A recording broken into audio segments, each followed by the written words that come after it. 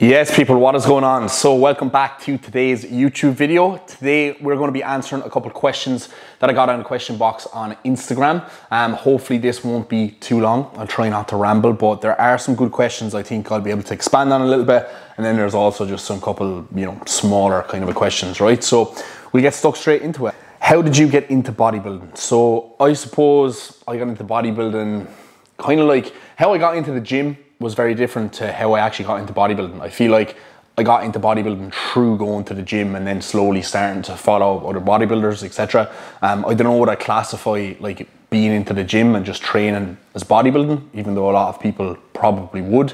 Like even when I wasn't like bodybuilding per se, still kind of considered myself a little bit of a bodybuilder. Um, like when I was like 17 and I first started going to the gym, I was still like prepping my meals all the time, you know, bringing them with me, kind of living the lifestyle that a bodybuilder would. So I think I, I would have got very into bodybuilding, I suppose, uh, earlier on, or got into what I consider proper bodybuilding um, very early on. But when I first started going to the gym, I was just doing it to just get a little bit bigger, you know, get the six pack, um, build more confidence, etc., etc. But I think within like six months of going to the gym, I kind of stopped doing it for like how I thought other people would look at me or how I thought girls would look at me, etc. And I was more so kind of like doing it because I genuinely like loved it. Like I loved the progression. Um, I loved how it made me like feel. I think like mentally, and uh, yeah, that's kind of how the gym kind of started for me. And then with bodybuilding, I kind of got into it a little bit earlier, I suppose. When I when I was following people on YouTube, like fitness wise, it would have been like Matt Ogus, Christian Guzman, like back in the day, they were like the first couple of people that I would have followed, like Rob Lipsett, etc. But as I started to get like more into like the training side of things and like building my physique and stuff like that, um, I think our first Olympia I watched was maybe in like 2013, and the whole like Kai Greene Phil Heath saga was going on at that time, and I just loved like Kai Greene as a bodybuilder. I loved how he was like very philosophical and like his answers to a lot of questions and stuff. And I remember watching all his old like I think Muscle Tech was who he was with at the time, or maybe like Muscle Meds or something like that all his like docu series like videos of like him and then it was like the backstory of his life and how he got into bodybuilding and all that sort of stuff. And I thought like oh this is like fascinating. And then just seeing like the different level of like discipline and commitment and like application to training that bodybuilders had in comparison to like the Rob Lipsett kind of Christian Guzman kind of lifestyle kind of a guys that sort of stuff just appealed to me a lot more because I'm a bit of extreme an extremist. I'm like 100% or nothing. Anytime I ever like want to do something, I just throw absolutely everything into it. Um, and I think that kind of like hardcore kind of extremist aspect of bodybuilding appealed to me more than just like you know going to the gym here or there to look good on the beach when you go on holidays. I was just kind of like no, I want like all the progression. I want to like push my physique as far as I possibly can. And all these like bodybuilders that would have popped up on my explore page or whatever, I'd see these like incredible, like sick physiques, um, fellas with like six packs, like just like shredded like quads and stuff like that. And I always thought to myself, even when I was like very young, like 17, 18, I was like, someday, like, oh, you want to look like that. I was like, I don't care what I have to do to get there. Like, I probably knew when I was very young, eventually I'd start taking steroids, which obviously I did then, but I didn't until I was like 23 stayed natural, done it right, etc., etc. I've spoken about this before, but I always had that like image of like a physique that I wanted to look like, and I always wanted to push it to kind of those extremes, and that's what really kind of got me into got me into bodybuilding pretty much. So yeah, pretty long-winded answer there, but it is what it is. Um, next question kind of goes off the back of that last question. Do you feel like people on the outside looking in uh, misunderstand bodybuilding? So yes, like this is super common. Um, I think like a lot of people look at bodybuilding as like very narcissistic and egotistical and stuff. And I mean, it is to a certain extent. Like nobody bodybuilds like not to look good. Like everybody does it because they want to look good. But at the same time, bodybuilding at a like high level, being egotistical or being vain only gets you so far. If you want to be like a top bodybuilder, like top bodybuilders are like mega disciplined. A lot of them are like super nice people. They're actually not very egotistical.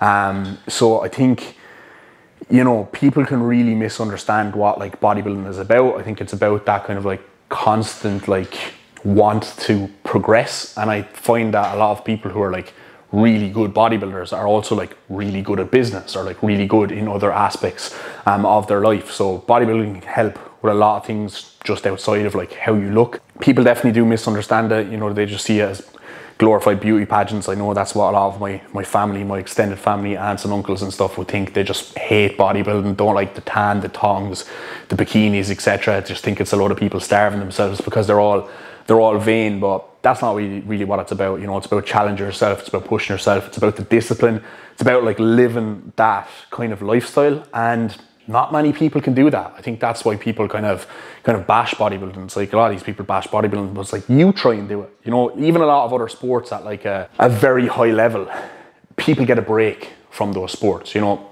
even if you're like a fucking professional soccer player, right, and you're playing in the Premier League, there's going to be a period of a couple months a year where like you're not playing in the Premier League, you don't have matches, you have time off, you can go on holidays, you can eat whatever you want to a certain extent like bodybuilders don't have that. Like it is 24 7, it's 100% commitment. It's a lifestyle choice.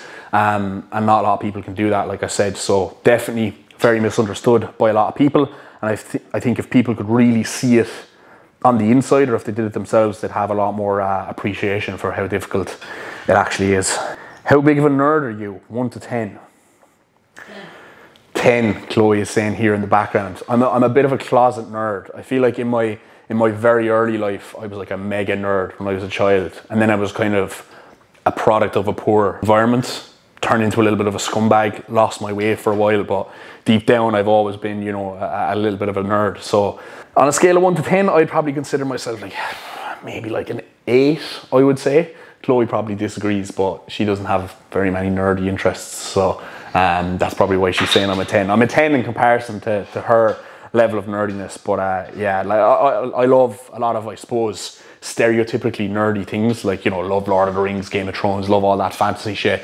Um, I've got mad into like chess lately. Me and Chloe watched the Queen's Gambit there recently, a couple months ago actually, and then I just was like, I used to play chess when I was younger. I had a board at home.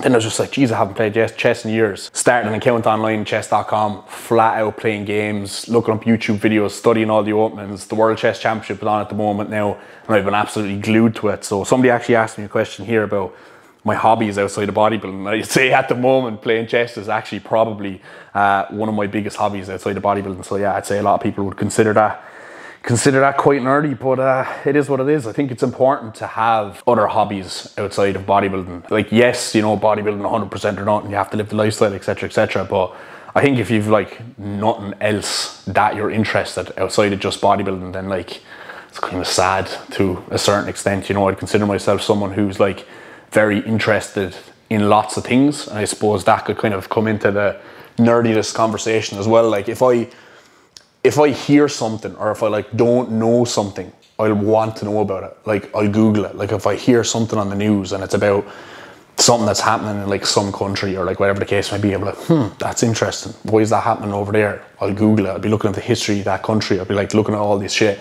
Like if there's something I don't know, I want to know about it. You know what I mean? I'm uh, I'm a fountain of useless trivia, so to speak. Are you going to get a tat? So this is something I've been fucking back and forth with for for ages. Like I've zero tattoos. I'd really like to get a couple of tattoos, but I'm like so picky what I want and like just so indecisive and stuff like that. I, I want to probably just get like a small couple like tattoos of like writing or like shit like that. But um, yeah, we'll see. I just need to pull the trigger and actually do it. I feel like once I get the first one out of the way, probably just encourage me to get more. But um, yeah, maybe maybe not for now. Meal plan or macros for prep. Okay, so all day I think meal plan. I actually did my last prep um, on macros because my current coach at the time just gave me macros. But I actually found that like towards the end of my prep, I made myself a meal plan and I just stuck to that meal plan because in my mind it just it just made more sense. Okay. Same foods every single day. There's no variability. You know there's not to be fluctuations in your weight. Um, easier to prep, just like less hassle. Kind of removes the like if you're doing macros and you're on prep, right? You're constantly going to be trying to find different tasty meals and things and stuff like that to, you know, try and like hit that craving that you have. you're going to be fucking hungry in prep. You're going to have cravings. I think your food focus is going to be higher if you're doing macros and you're trying to fit all these treats and all these different things into your plan than if you're just eating plain chicken and rice. Because if you're just eating plain chicken and rice, like eventually it gets to the stage of, of prep where that is fucking delicious, right? Like it could be plain chicken rice, no sauce, no seasoning, could have no fucking salt when you're proper hungry, you're going to eat that and you're going to enjoy it, right? And if you're constantly trying to find something that's sweet or, you know, salty or fatty to try and just like, you know, hit a craving, I think that's going to make your food focus a lot worse because it's moreish, right? You have something that's like really tasty when you're on prep, you're going to want more of that, right? Whereas if you just keep things consistent, same meals all the time, I think adherence is going to be better, your cravings are going to be lower um, you know, with macros as well, people can make very poor choices. Perfect example this. Those fucking Aldi and Lidl protein yogurts, those 20 gram protein puddings and stuff like that, right? Full of fucking shit, full of fucking preservatives. Yeah, they taste lovely. I've had them before myself. But if you're on prep, right, and you're fucking four weeks out and you're eating Aldi protein yogurts, that is the biggest waste of your calories of all time. 20 grams of protein, but you're going to probably have 15 grams of carbs in there full of load of shit, additives and stuff like that, like I said. For the same amount of calories, you could have a big fuck off bowl of Greek yogurt, probably 250, 300 grams with like 200 berries inside it and 20 grams of weight. It would be more protein, it would probably be less carbs, and it would be three times, if not four times the volume. Probably four times the volume. So, like, why does it make sense to just have that fucking protein pudding? Oh, because I like them. It's like, come off it. You know, you're on prep. It's supposed to be fucking hard. Eat something that's, you know, going to fill you up a little bit more rather than having stupid protein puddings or, you know, eating fucking bagels instead of eating rice and potatoes and stuff like that. I just, yeah.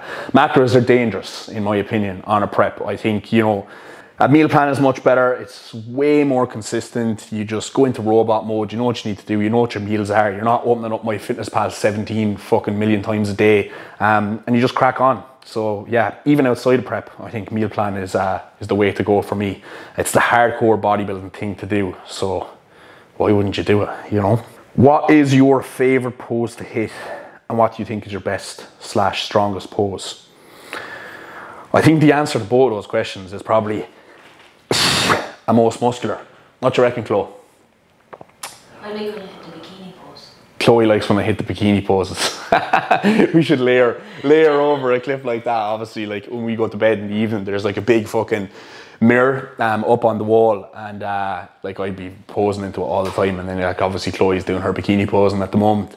And I uh, yeah, tried a couple of bikini poses one of the days. And you know what? I actually look pretty fucking good in the bikini poses, if I do say so myself. So yeah, I might put that in a video someday for, for the lols. But yeah, favorite pose to hit. I think like I, I think I look quite good in the most muscular. I do like really hitting the most muscular. It's an easy pose to hit as well. I love hitting the front double, but I don't feel like it's like my strongest pose. I think it's good. I think it's like up there in terms of my poses, but I don't think it's the strongest by any means. I think my back double, back double isn't like necessarily a pose I particularly like hitting, but I think when I get on stage, it's probably going to be one of my best poses. Um, yeah, I think there's there's certain poses I, I, definitely need to work on as well, like front back lat spread, probably two of my worst poses, and then my side chest needs a needs a lot of tweaking as well. But we will get there. Favorite bodybuilder and why? Oof, very hard for me to pick a single one. I think I'm going to answer this in like a physique, like sort of a way, like favorite bodybuilder, like physique wise, and then favorite bodybuilder to like actually like listen to um, and kind of follow and stuff like that. So Physique wise, I absolutely fucking love um, Derek Lunsford and Justin Shier. I think for me, that is bodybuilding, proportions, small waist, big flaring lats, just really aesthetic looking, just really pleasing to look at. Um, I'm sure anyone who follows me knows I'm not a Nick Walker fan. Yeah, he's a mutant, he's huge and all that, but it's that is not bodybuilding in my opinion. Like that is the ugliest fucking looking physique of all time. All those dirty varicose veins from the knee down as well. Like it's just that's not bodybuilding in my opinion, right? It's about it's about polish, it's about symmetry, you know, it's about balance and you know overall musculature. There's a lot of things that kind of come into it. And I think in the IFBB lately, we're actually kind of seeing it move more so in that direction again. You know, even with Samson winning the Arnold Classic, obviously he wasn't as as big and muscular, or he wasn't as like peeled as Nick was, but he was certainly like much more like overall, I think, aesthetic and, and just better, right? So they're the bodybuilders I really like physique wise, like the likes of Derek Lunsford, Justin Shier. I think Justin Shier is going to make a fucking statement this year. Really like Hunter Labrada as well. Um, in terms of bodybuilders to like follow, like J- Justin Shier again, love him on the podcast. He's like really funny, really humorous. Um, I actually met him in person as well at the Olympia, and he was like super fucking, super sound, super cool to talk to. Really like Iain Valliere as well. Just think he's like one of the smartest bodybuilders out there. Uh, because a lot of them are fucking dumb. James Hollingshead as well, if you ever watch his YouTube videos, he's brilliant. I think he kind of says a lot of things that he's very outspoken about a lot of things that other bodybuilders definitely go through and definitely feel like thoughts and emotions that they feel but they don't openly speak about um, and I can kind of resonate a lot with a lot of things that that James said and uh, he's some someone else who I met as well and, and was super super nice and, and, super friendly so they'd probably be uh, my favorite bodybuilders. I, am probably missing one or two people, but obviously like you know CBum and shit like that. But um, yeah, I'm, I'm kind of picking the open guys these days because that's the that's the direction I'm going. If you weren't pursuing bodybuilding, what other career path would you choose? So I'd probably still be an accountant, to be perfectly honest, um, because you know I went to college for four years, spent like two three years doing accountancy exams and I was working that job before I left to, to do coaching full time. So like if I wasn't bodybuilding, I wouldn't be coaching. I don't think because I don't think you can have a coaching business without having a good physique. Um, and I'd probably just be stuck in a fucking nine to five that I didn't like. Well, at the time I left, I really hated my role. Do I think there would have been other roles that I would have really enjoyed within accounting or finance? Yes, I definitely do think so. Like I still actually love finance in general, and it interests me quite a lot. Um, and you know, I'm, I'm a bit of a numbers guy. It's just like the way I am. But um, yeah, probably probably be doing something in, in, finance or accountancy still, to be perfectly honest. But uh, I'm glad I'm not because I think now that I've been working for myself for quite some time, I would fucking hate to go back to working for someone else. I just I just don't like listening to people or taking orders from people, especially people who I consider to be kind of incompetent um, at the best of times and working with other people in like a, a, team and you know everyone has to be fucking pally pally friendly friendly and I'm just like this person is a complete fucking retard. Like how am I supposed to be nice or, or talk politely to this person when they're doing my fucking heading? But uh, yeah sweet or savory savory all day. Um, even though in my last prep like, I don't really have much of a sweet tooth and in my last prep for some reason when, when it started to get towards the end and I was uh, getting a lot hungrier I had like this massive sweet tooth. But again, this goes back to like the macros thing. At the time I was doing macros and I was fucking getting all these like Hartley's jellies in the packet and I was making like a big like two liter full lunchbox of like sugar free jelly, but it was just full of like additives and shit like that. And I just eat it in one sitting, my stomach would just be fucking blown out. And you know, it, it would fill me up, but it wouldn't satiate my hunger um, at all. So I kind of fell into that trap and all like, you know, sweetener drops in like my teas and my coffees and stuff like that, drinking tons of monsters, drinking tons of fucking Pepsis and Cokes. Um, just way too much like artificial shite, to be perfectly honest. So definitely won't be falling into that trap um, again this time. Will I get a sweet tooth towards the end of this prep? I don't know. I think I'll be able to manage it, you know, a lot, a lot easier. But um, I rarely like stray off my plan, you know, at all, like my meal plan. When I do, it's for a savory meal. Like I'll get Nando's I really like, um, the Five Guys I like. There's a like a gyros place over here called Mikos, really like that as well. Um, any other place I've had in Manchester since I came over here has been pretty fucking shite. To be honest, I'm not a big foodie whatsoever. I have zero emotional attachment to food. In my opinion, it's very easy for me to just just not have off-plan meals. Um, if I'm being honest, so savory for me, the only thing I like is like greasy, fatty kind of things. If I'm going to eat off-plan, I'm going to eat those. I never like nibble at anything off-plan. Like I'll never have a single sweet or a biscuit, or if somebody has them out, like I just don't touch any of that shit, uh, or like crisps or anything like that. I just just don't go near them. You know, I'm having a meal or that's it. I'm just following, you know, my meal plan. Um, that kind of leads me on to another question I got off uh, Donald O'Donnell over in Perth, uh, another Ardfinnan man, fellow Ardfinnan bodybuilder. I think there's only two of us uh, in the village, so yeah, big shout out to Donald. Foods you might crave on prep, foods you miss as in takeaways slash fast food, etc. So again, like those three places like Nando's, Five Guys, and that Mikos place like the only things I actually don't regret after I've eaten them over here. Um, I get like serious off-plan meal regret. It's like you know, I stray away from my meal plan. I eat this big meal. I spend a fucking fortune on a meal because eating out just costs a fortune as well. I think it's just a bit reckless, to be honest, having too many meals out. It's just a waste of money, in my opinion. And then I'll often just be like, well, that wasn't worth it. That tastes disgusting. That made my stomach feel like shit. I wish I just had my chicken and rice at home because I genuinely just enjoy it a little bit better. So again, I, am not a big foodie. I have very little like emotional attachment to food. Even like the whole social aspect of going out and getting food.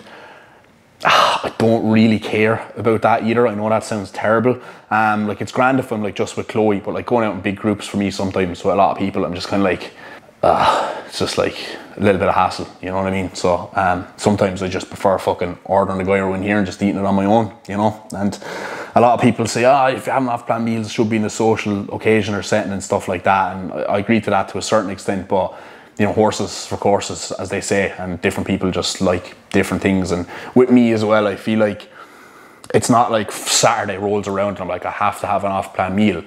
I could just randomly get a craving for something on a Wednesday as I'm walking through town and I'd be like, do you know what? I'll have that and I'll just have it. And just that's the way I do it. So yeah, I won't really miss anything. Um, with what I'll crave, I, I, really don't know. Towards the end of my last prep, honestly, weirdly enough, what I was craving was just like fats. I remember at the end of my last prep, um, I was craving like dark chocolate, like avocado, like smoked salmon, like all these things, these foods I was like really, really craving because I had been eating them at the start of my prep and then they were pulled out and obviously your fats go super low towards the end of prep. And I had to kind of like pull out my dark chocolate and I had to pull out, you know, the salmon and avocado obviously because they're quite high in fat.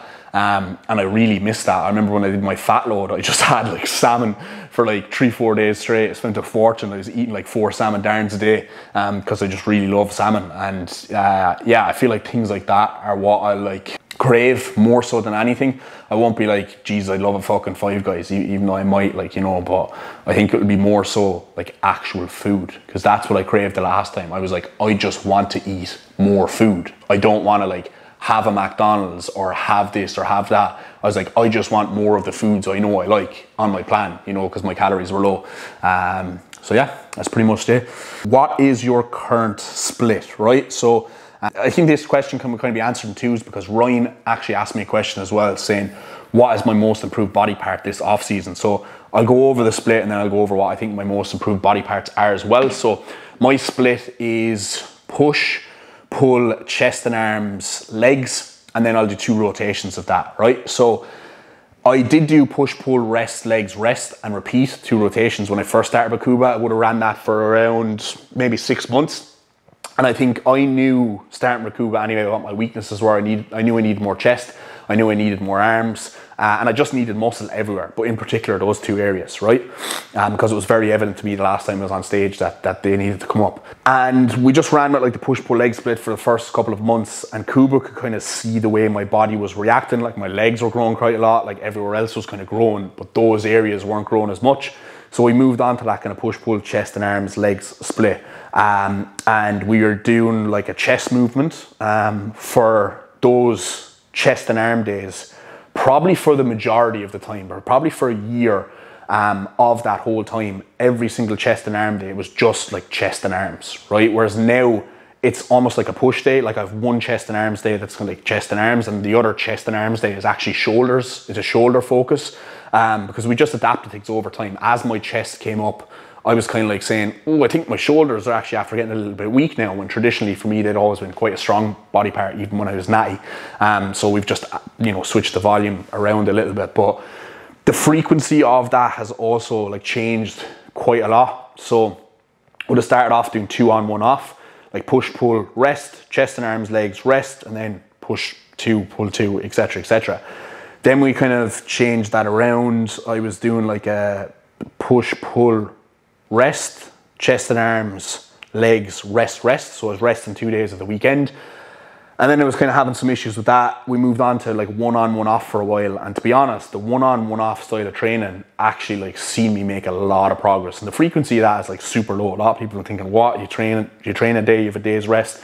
I did that for months. Um, and my last push up was probably like my most successful yet. So, you know, I think frequency is important, volume is important, but only doing in the gym what you can recover from is also important. And over the last two and a half years of an off season I've had, obviously I've grown shit loads of muscle, but my strength has also come up so much that my recovery, you know, demands have, have completely changed in comparison to like what they would have been when I was smaller and I was I was weaker um, or whatever. Right at the moment now we're back to kind of training four days a week. I'll do like push, rest, pull, rest, chest and arms, legs, rest, and repeat. So, what do I think my most improved body part has been? So obviously with that split. The focus was bringing up the chest and the arms. I certainly think they have come up a lot. But equally at the same time, when I look at my overall physique, I think that like my back has probably come up the same amount as my chest and arms have. You get me, even though I've been training it like half with half as much volume, which is quite funny. So it just goes to show that like I needed that extra volume, I needed that extra frequency just for my chest and arms to come up as much as my back. And even when I look at my overall physique, especially from when I started my off season to now, if I was to say single out any body part and say what do I think is the most improved? I actually think my legs are the most improved. Like my quads, my glute, my glutes and my hamstrings have just fucking doubled in size in comparison to everywhere else. And I kind of attribute a lot of that down to the kind of execution in my training. Um, when I look at my legs now in comparison to, to where they were, they've definitely improved more so than anywhere else, I think. Not to say that everywhere else hasn't improved a lot, but I think my legs are probably my most improved body part. Um, and then after that, maybe like maybe my chest, even though I don't know my back has come up a ton. Everywhere's kind of coming up relatively evenly, but I think the legs just a touch more. What was the hardest part of taking a long off season? Whew. I don't know. I feel like it kind of got a little bit harder towards the end than it was at the start because I was so like driven to make progress. When I stepped off stage the last time, I knew I was like, right, this is going to be a really long off season, but I have to attack this with a sense of urgency as if every single day is like my last day to make progress. And I think that's why I've made as much progress as I actually have. Like I really, really did treat that off season like a prep. And shortly after I started with Kuba as well, like I obviously was kind of just starting to see Chloe at that time too. And Chloe was did like two preps that year. So I was spending a lot of time with Chloe she was literally on prep for like the first fucking seven or eight months of our relationship. So we never went out for meals. Our whole life revolved around, you know, going to the gym or doing cardio or whatever the case may be. And I absolutely loved that at the time because it kept me super locked in and it kept me super accountable to like my like off season. I remember going like two months in the summer, in the middle of the summer, without even having an off plan meal because Chloe, Chloe was on prep and I was just eating all my meals and she was just prepping so she couldn't have any meals and you know, everything was just like militant. And I kind of carried that momentum through with me uh, for, you know, the off season as well. Obviously, moving over here then was like a, a, big kind of change and a shift. And I think once I got into a new gym here as well, um, it made things a little bit easier because the training was much better. It was a level up. The equipment was much better, etc., etc. So knowing that the off season was so long wasn't actually difficult for me because I like treated it very seriously. Every week had urgency. Um, I think the hardest part of the long off season was almost like the end of it, the like off season fatigue. I feel like there's only so long you can just like bulk and bulk and bulk and gain weight for and gain weight for before like you kind of hit a ceiling almost. There's only so long that you can like push up for and push up for. Um, and I know I did mini cuts along the way to like reset my appetite or whatever, but without doing like a proper diet and a proper prep to like really get lean and like if anyone's done a prep before, you'll know that when you diet down to that extreme and you're effectively kind of starving yourself, afterwards your hunger hormones and your hunger signaling is like all over the place and you're hungry for months, right? No matter what you eat, even if you're shoving your face full of calories every single day, you're still like really hungry. And obviously, I spent like very little time. I think I spent 20 weeks out of my entire like you know two and a half years away from away from stage um, in like dieting phases. Every other time, I was just like shoving you know food into me. I was in a calorie surplus, so it's very very difficult to do that for like a long you know space of time. Obviously it's paid dividends it's paid off but i feel like i really need this prep now to like really drive me into the ground like strip me down like strip off all the body fat have a super lean set point you know get my hunger up really high. And i think the rebound off the back of that is, is going to be immense. I don't think i will ever do that long of an off season again. I don't think I'll ever take three years in between shows. I think from here on out it's going to be a lot shorter. And I think one of the big reasons for that is because I've what I've mentioned before. I think it would probably be a little bit better for me to compete a little bit more frequently to kind of keep myself a little bit fresher and keep everything kind of firing um, a little bit more. Last question, we will wrap this up here, even though I have a couple more, but this has gone on for quite some time. So this is from Ryan again. How will this prep be different from the last prep? Ooh, so this will be very different from the last prep. I feel like in my last prep, I kind of coached myself for a lot of it.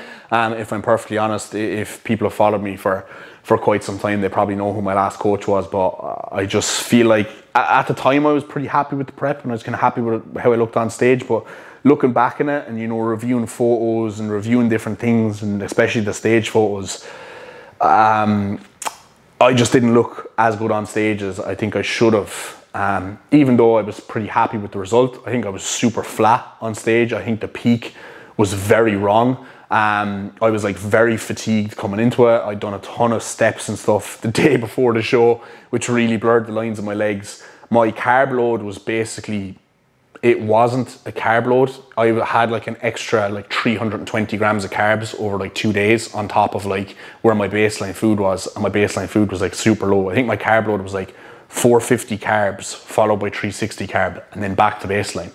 It was fucking nothing. I don't even think it brought me up to maintenance. So, and then I took like these natural diuretics, these like Redcon 1 water boards, and I just feel like that flattened me out a ton and I, I just just didn't look great um, on stage, to be honest. So it's going to be very different with Kuba's approach this time. Um, the length of the prep is going to be similarly the same, but obviously I started leaner. I know I'm going to have, be, have to like come down a little bit slower Kuba's going to feed me right up into the show, probably for a good length of time, about 10 days. Um, there's going to be more drugs in play this time. Obviously, I'm going to have a lot more muscle. I'm a lot more confident in what I'm bringing. You know, last time was just first time around, didn't really know what to expect. Um, but yeah, this prep will be very, very different. And I'm more confident that it's going to be like managed to a T. I think as well, having done that long off season with Kuba, he knows my body like inside out. He knows my body really, really well. And um, especially over the last kind of six to eight months, he's really been like micromanaging things like very, very well uh, with me. So I have full confidence in him to, to bring the best possible look that I can bring. Uh, and I'm super fucking excited for, for what is to come. So yeah, buzzing. Actually, I'll do one more question because I think this is a this is a, an important one to answer. Um, what shows am I doing? Okay, so my plan of action for shows is going to be Kuba's show, MK Classic, show number one, on the 2nd of September. Um, I'm going to do the novice bodybuilding category, and I'm also going to enter the open category. So I'm going to see how I get on in the heavyweights. I'm going to step on stage in the big boy heavyweight category, and I'm going to see how much muscle I need to build to actually be competitive there. I don't think I'm going to be at the bottom of the class. I don't. I genuinely don't. I think my shape and structure is too good. I think I'm going to be very, very peeled because I know um, work ethic wise and genetic wise, I'm going to be able to get in super fucking good condition. Um, it's just the size that, that I'm going to lack. So, you know, I think the shape and structure and the condition will only carry me so far. Do I think they probably matter a little bit more than size in some cases? Yes. But, you know, I, I think I might be way off when it comes to size in, in doing very well in the heavyweight categories. But we'll see. I just don't know. I still have no fucking idea what I'm going to look like. Even right now, I'm a lot heavier than I actually anticipated I would be at this body composition. So, you know, things are looking pretty positive. Um, after the MK Classic, that's in Wigan, coming back to Manchester the next day. I'm going to do the PCA Manchester, so I'm going to do the novice bodybuilding category there as well. And then we are going to fly to Italy, I think the following week. So a big part of this season for me was wanting to do a show abroad, right, and wanting to do a pro qualifier. So the Italy show obviously is going to be the week after already doing two shows, and then the next show I'm going to do is the PCA Ireland, which is on the 17th of September. So that's four shows, three weeks back to back. Logistically, even traveling to all those places, bringing all my shit with me, whatever, it's going to be a fucking nightmare. It's going to be very stressful, but we're going to get it done right? Um, because the PCA Ireland show is important for me to do as well. I want to go back to Ireland. I want to make a fucking statement. Uh, I want to smash some cunts up, um, and uh, yeah, see how I get on there. So the Italy show, you know, I think don't know what the standard's going to be like. Um, I've heard it's a really nice place where it's on, and I think a show abroad will be good. Pro qualifier again, so the standard should be obviously much better than like local regionals here. Probably the novice category there and the heavyweights, and again see how far I off, off, I, off I am from people who are actually going for for pro cards because that's my long term goal, and. Uh, yeah, I think there that's my plan for now. It may change, like the pro qualifier um, may change. You know, there's France on the 30th of September, so could potentially do that instead of doing, you know, the the Italy show and just kind of you know focus on the Ireland show in between the the first two shows. But look, we we'll see what happens. We'll see how I'm feeling and what I look like, um, you know, before the first show, and we'll kind of make those those concrete decisions then after that. But uh, yeah, someone asked me questions well. Am I nervous for your show? Absolutely fucking not. I don't feel the nerves whatsoever. I don't have massive expectations. I think in the novice category, I think you know if I'm if I'm as good as I know I can be, um, and obviously no absolute freaks show up.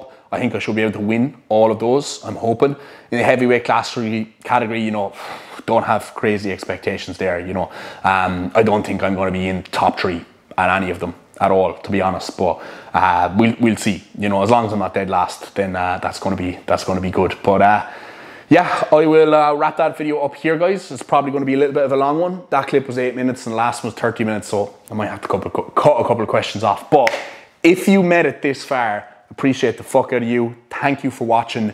You're the real MVPs, uh, you're real subscribers. And if you're not a subscriber and you've made it this far, you've watched this video and you've listened to me ramble, then fucking hit the subscribe button down below. Drop the video a like, share it with your friends, drop me a comment, you know, all the good stuff.